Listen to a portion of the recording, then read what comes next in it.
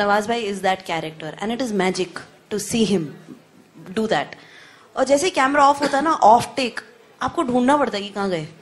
कहाँ कहाँ गए? वो कहीं मतलब क्राउड मतलब क्राउड में मतलब हम, और जैसे कैमरा ऑन होता है बिकम्स दैट चाहे वो हराम खोर चाहे वो मानसून आउट चाहे वो गैंग्स ऑफ़ वासेपुर चाहे हमने जितना भी काम किया ना तो तो to be to be that person जो जो सब में घुल मिल जाता है, जो इतना ईज कि कोई उनको ऐसे बोल सकता है ऑन द सेट कोई ऐसे बात कर सकता है is is is a gift you know and and सबको लगता है कि ये हमारे अपने और हम जाकर इनसे ऐसे बात कर सकते हैं। तो सेट पर हमेशा ये माहौल होता है कि मतलब हर कोई छोटे बच्चा भी आकर अरे ऐसे बात कर सकता है because he allows it you know तो वो वो बहुत मैजिक है वो एक बहुत मैजिक है एक इनका। तो थैंक यू नवाज़ भाई आपसे सवाल है नवाज़ भाई आपके सामने इधर नवाज़ भाई आपने आपने एआईबी के एक प्रोग्राम में कहा कि छोटी फ़िल्मों को जब मैं शूट करता हूँ तो ज़्यादा अप्रिसिएशन नहीं मिलती और बड़ी फ़िल्मों में लोग तालियाँ बजाते हैं। तो इस फ़िल्म में आपको मिली थी जब आप शॉर्ट करके निकलते थे या क्या था?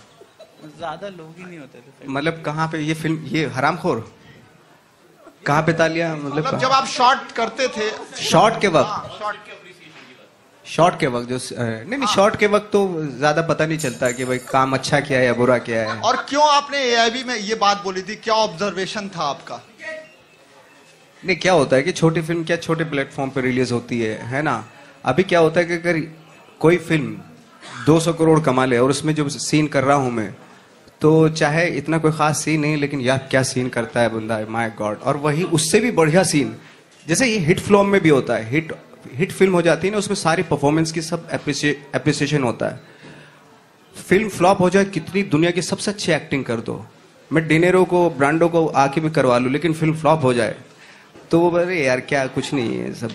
और एक बात और बोली थी आपने कि शाहरुख खान कई बार टेक देते हैं लेकिन सलमान भाई सिर्फ़ एक बार आते हैं और एक ही टेक में वो फिनिश कर जाते नहीं नहीं नहीं कई बार नहीं देते वो टेक वो भी एक ही टेक में ओके कर देते हैं। भाई मेरे से ये सब वो वो ऐसा होता है कि कभी कभी मन करता है एक टेक ओके हो गया अब दोबारा फिर से कुछ कुछ और निकालते हैं चीज़ इस टेक में वेरिए हाँ वेरिएशन में। यू you नो know, वैसा होता है। और भाई ये नहीं कि आपने बोला भाई जो है तो एक टेक ही देते हैं उसके बाद मना मतलब मना हाँ भाई का ये है कि एक टेक हो गया ओके अब दोबारा नहीं मांगने का है। नवाज़ भाई दिस अरे अरे। नवाज़ भाई, मैं ये कह रहा था कि रियल रियल लाइफ में जैसे मान लीजिए कि मैं आपने बेमिसाल अभिनय किया है निगेटिव कैरेक्टर निभाया है, लेकिन जब रियल लाइफ में आपको अगर निगेटिविटी होता है मतलब आपके बारे में कोई खबर ऐसी होती है जो आपको दिल को अच्छी नहीं लगती तो फिर कैसा महसूस होता है आपको as a celebrity as a individual real life में ऑफकोर्स दुख होता है, कोई अगर नेगेटिव खबर आती है है ना? दुख होता है। हालाँकि मैं उसमें भी रियल लाइफ में ज़्यादा एक्टिंग करता हूँ मैं। ऐसा दिखाता हूँ बहुत आराम से हूँ, लेकिन अंदर बहुत कुछ चल रहा होता है you know but I think मुझे कभी कभी ऐसा लगता है कि मैं रियल लाइफ में ज़्यादा एक्टिंग करता हूँ। नवाज़ भाई, मैं आपसे पूछना चाहूँगा कि बहुत सारे लोग हैं जो डिफरेंट डिफरेंट स्टेट से आते हैं एक्टर बनने के लिए। जब भी मैं बात करता हूँ तो नवाजुद्दीन का नाम आ जाता है। तो आपकी जो संघर्ष की कहानी हराम खोल तक रही है तो उन लोगों के लिए जो लोग बॉलीवुड में आ रहे हैं नए चेहरे हैं और आपका एक एग्ज़ाम्पल सेट कर रखा है तो उन लोगों के लिए आप क्या मैसेज देना चाहेंगे?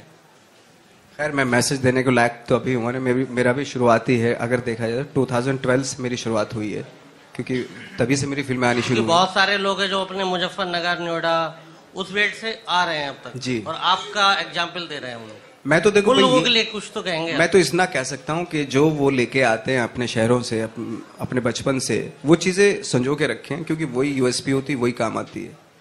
अगर आपकी सफलता की बात करें तो आपकी इतने सालों में आपके सफलता के पीछे कौन रहा? किसको आप श्रेय देना चाहिए नहीं मैं अभी कहाँ अपने आप को सफल मानता हूँ? मैं मैं तो अभी शुरुआत है अभी अभी अगर अब अभी से अपने आप को मानने लोगों के मैं सफल हो गया तो वो कहीं ना कहीं करप्शन आने लगेंगे दिमाग में। तो मैं नहीं मानता। मेरा काम है काम काम करते रहना। जब मैं काम करूँगा तो दुन मेहनत करूँगा और कोशिश करूँगा कि दुनिया में सब दुनिया की सबसे अच्छी एक्टिंग करने की कोशिश करूँगा। ये इस कॉन्फिडेंस से मैं आता हूँ। भले ही हो पाए ना हो पाए वो दूसरी बात है। नमल भाई आपने एक इंटरव्यू में कहा कि लड़कियाँ पटाने के लिए आप पतंग उड़ाया करते थे और पतंग के माध्यम से मैसेज दिया करते थे। कभी कुछ ऐसा हुआ? किसी ने आपको हराम खोल का टैग दिया हो? कौन कौन से जख्म जख्म को रोक रहे हो। नहीं इज़ इट कभी ऐसा हुआ इत्तेफाक हुआ कि आपने किसी को सेट करने के लिए पतंग उड़ा के छत पे छोड़ दिया और पैगाम डाल- दे दिया आई लव यू नहीं मैं एक्चुअली पता क्यों एक्टर बना मैं उधर से रिजेक्ट हो गया था। तो मैंने कहा कोई ऐसा डिपार्टमेंट करते हैं जहाँ अपनी जो अंदर की वो पूरी भी हो जाए और ऐसा भी लगे कि लड़की पट भी गई। तो फ़िल्मों में ऐसे ही होता है ना कि प्यार भी रोमांस हो रहा है और रोमांस में मैं महसूस करने लगता हूँ कि वहाँ पे तो रियल लाइफ में तो हुआ नहीं था। मैंने चलो यहाँ हो गया भले चाहे फ़िल्म में हुआ हो। तो अच्छा है ठीक है। जसलीन यू नो एक अलग तरह की फ़िल्म हरामखोर और उसमें एक यू नो एक गाना ही लोग इतना अप्रिशिएट कर रहे हैं।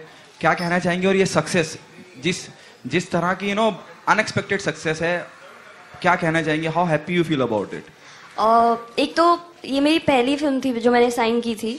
और इससे पहले मैंने दो तीन फ़िल्म की। पर ये जो इसके साथ ही एक अलग लेवल ऑफ़ अटैचमेंट था क्योंकि श्वेता की, श्लोक की और मेरी पहली फ़िल्म थी तो ये मैंने फ़िल्म देखी तो ये बहुत ही इमोशनली आई वॉज़ टच्ड तो इसके बाद हम बहुत ही, इसकी रिलीज़ में लग गए थे, सभी एक तरह से जुट गए थे कि किसी तरह ये रिलीज़ हो जाए। और ये गाना और जैसे कि फ़िल्म एक स्मॉल लेवल पर जैसे भी सक्सेसफुल हुई है तो गाना भी ऐसे कई लोगों तक पहुँचा और जिनको पहुँचा है, उनको बहुत अच्छा लगा तो इसमें ये नहीं है कि दस मिलियन व्यूज़ हो गए, बीस मिलियन हो गए बट इसमें आपको बहुत सेटिस्फैक्शन मिली कि आपने एक ऐसा गाना बनाया और ऐसी फ़िल्म में गाने का मौका मिला। तो इससे मुझे बहुत ही खुशी मिली ऐसी टीम के साथ जुड़कर।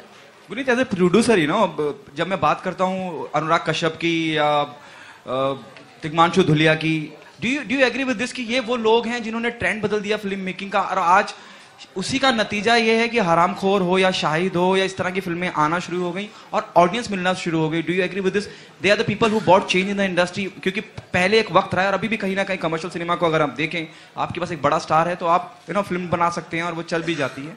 लेकिन इन्होंने फ़िल्म मेकिंग का तरीका ही बदल के रख दिया और इस तरह के सब्जेक्ट्स इस तरह की कहानियाँ ऑडियंस तक पहुँच रही हैं। बींग अ प्रोड्यूसर नहीं बिल्कुल I would even give Dibakar I would add to that list and say Dibakar मतलब कहीं ना कहीं नागेश कुकनूर ने एक बारी जब हैदराबाद ब्लूज रॉक फोर्ट जब बनाई थी तब आई डोंट थिंक इतने सारे uh, लोग थे जो नॉन स्टॉप कर रहे थे। बट कहीं ना कहीं जब uh, मुझे लगता है द शिफ्ट हैपेंड इन 2008 जब Anurag and Dibakar back to back और अनुराग की सारी फ़िल्में रिलीज़ हुई।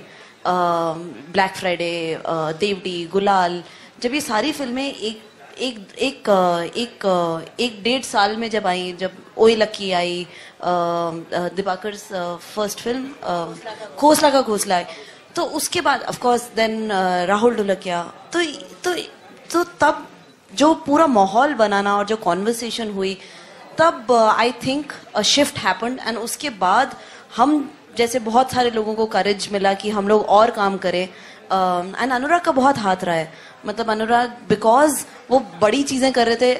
He allowed me to go do this मतलब हम दिस इज़ मतलब एक एक ये है कि एक वो जज्बा है कि हमें जाकर करना है। हमें शायद उस समय उस समय नहीं पता था कि ये रिलीज़ कैसे होगा, इसका लॉजिक क्या है, इसका बॉक्स ऑफ़िस क्या होगा। हमें बस पिक्चर बनानी थी। और वो पिक्चर बनाना बहुत बड़ी बात है। मतलब so so I just want to say that yes बहुत हाथ है इन सब डायरेक्टर्स का। एंड एंड उसकी वजह से जो जितने भी एक्टर्स हैं, एक एक, अब अब अब ऐसा लगता है कि पाँच साल के बाद एक कम्युनिटी सी बन गई है, जहाँ हम लोग सबको एग्जिस्ट कर सकते हैं।